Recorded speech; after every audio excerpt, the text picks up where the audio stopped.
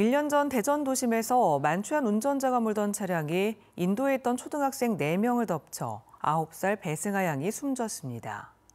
사고가 난 곳은 어린이 보호구역이었지만 돌진하는 차량을 막을 안전시설도 없었고 이를 규정한 법령조차 없었다는 점에 많은 시민들이 분노했었는데요. 1년이 지난 지금 어린이 보호구역은 조금 더 안전해졌을까요? 윤소영 기자가 취재했습니다. 지난해 4월 대낮 대전 도심 한복판에서 만취 상태인 60대 운전자가 몰던 차량이 인도를 덮쳤습니다. 이 사고로 어린이 보호구역을 걷던 초등학생 3명이 크게 다쳤고 9살 배승아 양은 끝내 숨졌습니다. 보호구역이지만 아이들을 보호할 방호 울타리가 설치되어 있지 않았습니다.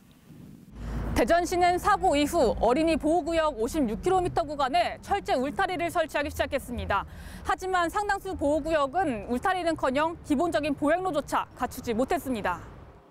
대전의 한 초등학교 하굣길 보행로가 있지만 불법 주정차 차량과 상가에서 내놓은 물품으로 발 디딜 틈이 없습니다.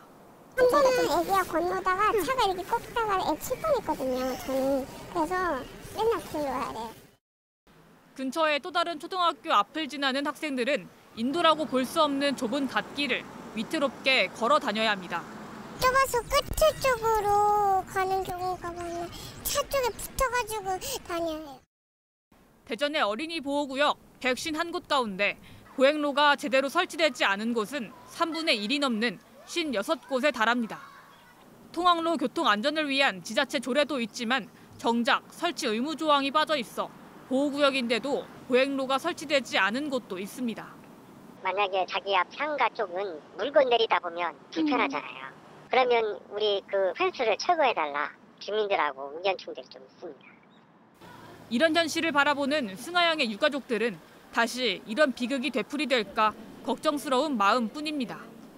잠깐의 그런 불편함 이런 부분이 어, 과연 어린이 안전과 맞교환해야 되는지 우리 어린이들 아니면 꿈나무들 위해서라도 더 넓게 봐야 된다라고 전직 공무원인 가해자 60대 남성은 1심에서 징역 12년을 선고받았고 오는 16일 항소심 선고를 앞두고 있습니다. MBC 뉴스 윤소영입니다.